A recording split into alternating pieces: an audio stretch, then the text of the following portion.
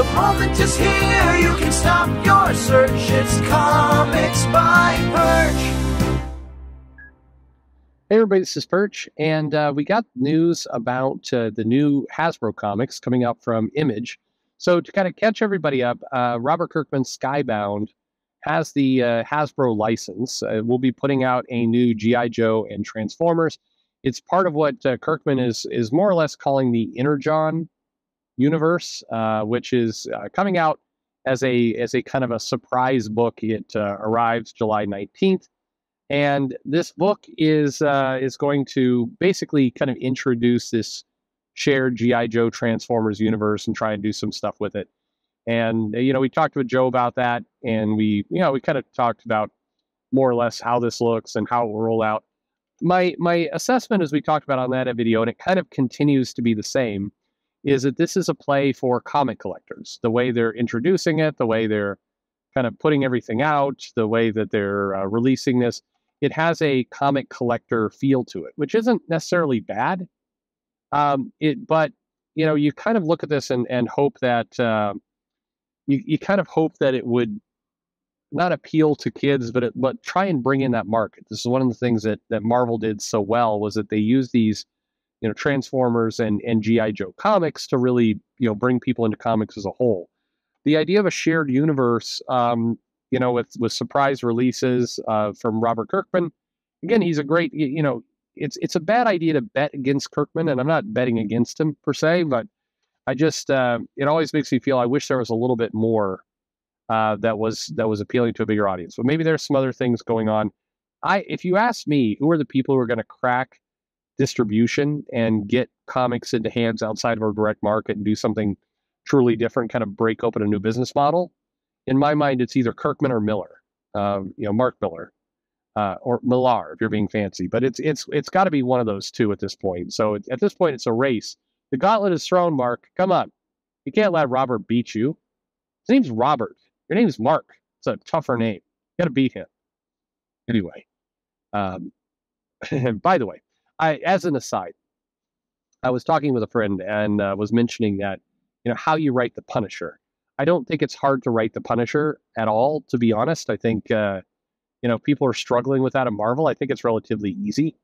Uh, but the but the key I would go to, and you guys are going to immediately you probably disagree on the surface, but if you think about it, it will start to make sense. If you really go back and look at those Punisher comics, you don't need him walking around all miserable all the time. You just need him. You know, a lot of those early comics, he was like kind of cracking jokes and and being kind of funny. I mean, he's, he was like James Bond, but killed people like at a higher frequency than James Bond. And again, you're going to think that analogy absolutely sucks, but I promise you, go back and look at some of those comics that's how you write him. You basically write him like kind of rogue James Bond doing his own thing and and killing people. And that that that's how you write it. You don't you don't overcomplicate it by well, we have to deal with his tortured past and the fact that he's killing people, but he's the hero, but he's not a hero, and now he's a demon agent, and fuck, now he's in weird world. Like, uh, like, what are you doing? You just have him be James Bond that kills people by the way, if you think the whole Punisher thing is absurd with the, the skull and oh, the white nationalists took it and all that kind of stuff, consider this. If the white nationalists start calling themselves 007 as a symbol, you would see a world where they would be trying to retire that 007 name because some weirdo morons uh, somewhere are cosplaying and using a symbol. Like, like, what, what, are you saying you'd get rid of James Bond? Like, that doesn't make any fucking sense. None of this makes any sense a lot of this culture war shit doesn't make any sense for that matter. But anyway, all right, back to the news. So anyway, we have the creative teams for this new, uh, you know, shared Energon universe. So we've got Void Rivals number one, which I mentioned, kicks off this entire shared Transformers GI Joe universe, uh, coming out very shortly. Um, you can actually get it, I think, probably. Well, let's see. I'm, I'm recording this on the way home from the airport, so my guess is it's out soon, or it's out. It's already out by the time this video goes out. It's a uh, it is a Tuesday, and I'm driving back from the airport. So there you go.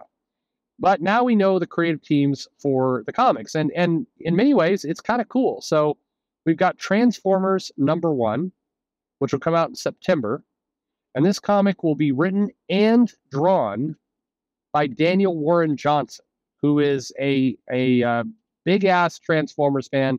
loves the genre, loves the series, loves uh, loves everything about Transformers. Uh, Daniel Warren Johnson, who, um, you know, on one hand, if I was picking who would do Transformers in terms of an art style, I would probably lean to doing somebody who has almost a manga style, really kind of slick chrome and kind of handling those vehicles right. But I have to admit, Daniel Warren Johnson, or for that matter, uh, friend of the channel, Sean Gordon Murphy, who draws like absolutely fucking incredible cars, like either one of those two drawing this will probably be pretty badass. So Transformers number one in September, Daniel Warren Johnson will be doing that. Then we've got Duke number one out in December. And Duke, of course, G.I. Joe Duke, you know, uh, who is uh, into autoerotic asphyxiation is whatever. I'm sorry. I'm just putting that in for the uh, SEO. Oh, yeah, BTS, Pokemon. All right, there you are. Uh, five of you got that joke. Anyway, Duke number one will be uh, written by uh, Joshua Williamson, who's been kind of leading a lot of the DC events. And he'll be coming off of Knight Terrors right into Duke. And it will be drawn, drawn by Tom Reilly, who has done uh, Ant Man and the Wasp. Uh, he did The Thing. And, um, you know, solid, again, solid artist, solid choice. And then Cobra Commander number one will be out in January of 2024, so first month of the new year. And that will also be written by Joshua Williamson and drawn by Andrea Molina or Milana. Um, and so pr- pretty cool stuff. Uh, they look they look nice. Uh, Void Rivals, uh, which is out shortly, is described as uh, the blockbuster Oblivion song team of Robert Kirkman and Lorenzo De Felici debut the biggest all new comic series of 2023 with the uh, with sorry with the launch of an all new shared universe transformers and gi joe war rages around the sacred ring where the last remnants of two worlds have collapsed around a black hole in a never-ending war however when pilot derek and his rival uh, solia both crash on a desolate planet these two enemies must find a way to escape together what dark force will await them that will threaten the entire universe. So they're, you know, that that's what's going on. It's, it's this, um, it's a story that sets a backdrop for this giant uh, uh, Transformers uh, world and and big stuff. So Void Rivals is a series written by Kirkman, um, and this is a kind of brand new surprise series, as Kirkman likes to do. But this creates the Energon universe, GI Joe, and uh, Transformers, and now you know that the team members on it Daniel Warren Johnson, Josh Williamson, uh, respectively, for Transformers and G.I. Joe. So, question is now that you know the creative teams, are you into it? Is this series you want? Is this, uh, or is this, how, how do you feel about it? Uh, Josh Williamson, I, I like Josh Williamson. I, I, I liked a lot what he did at DC. I felt like the more they pushed Josh Williamson into doing the big uh, Dark Crisis events and everything else, I felt like we lost a little bit of what made Josh Williamson uh, great but still a good writer. Nothing, nothing against that. So hopefully he'll he'll bring some really good stuff with these comics. Uh, Daniel Warren Johnson on Transformers feels fairly inspired to me. That's a pretty pretty interesting choice. Um, I again, it, it's not necessarily intuitive, but I think given his love for the series and kind of what he brings, and I, I was such a big fan of uh, some of what he did, especially like uh, Murder Falcon and some of these other stuff. I think I think he is. Um, I'm I'm interested to see it. So let let's go. Uh, the Bill the Beta Ray Bill series is pretty awesome from Marvel last year. Let's see what uh, we get from Danny Warren Johnson Transformers. But are you buying it? Is this exciting? Is it the right angle for you? Let me know in the comments below. Like and subscribe, of course. And thanks for listening.